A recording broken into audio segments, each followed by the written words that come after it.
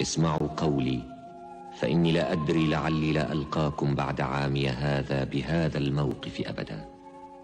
أيها الناس إن دماءكم وأموالكم عليكم حرام إلى أن تلقوا ربكم كحرمة يومكم هذا وكحرمة شهركم هذا. وإنكم ستلقون ربكم فيسألكم عن أعمالكم وقد بلغت فمن كانت عنده أمانة فليؤدها إلى من ائتمنه عليها. وإن كل ربا موضوع. ولكن لكم رؤوس أموالكم.